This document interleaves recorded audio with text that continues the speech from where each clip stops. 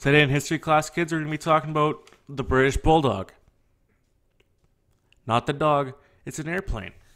In 1924, Frank Barnwell started work on a fighter plane powered by a Rolls Royce Falcon engine.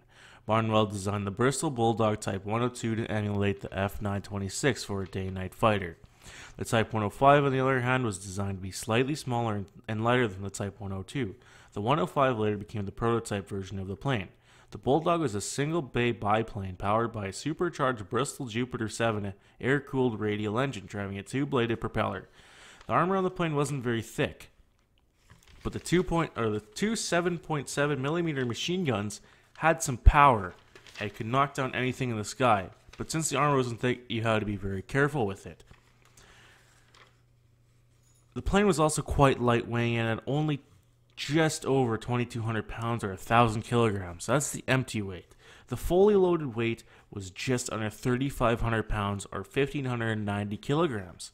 The first Bulldog took flight on May 17, 1927, and had amazing maneuverability and strength due to in strength, which RAF praised. But the poor spin recovery, which was later revised by adding an enlarged fin and rudder in the Mk2A model, made the RAF fall in love. But the Bulldog never saw combat with the Royal Air Force, or RAF.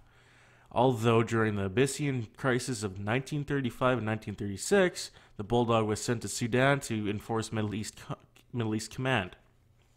And after years of use in different countries, varying from Australia, Denmark, Estonia, Finland, Japan, Latvia, Thailand now, Spanish Republic, Sweden, and the UK, and some of the states, it was replaced in 1937 by the Gal- Gloster Gauntlet. I just messed up my words, and I've been doing this for an hour, and I'm actually keeping this in. So, thank you guys for watching.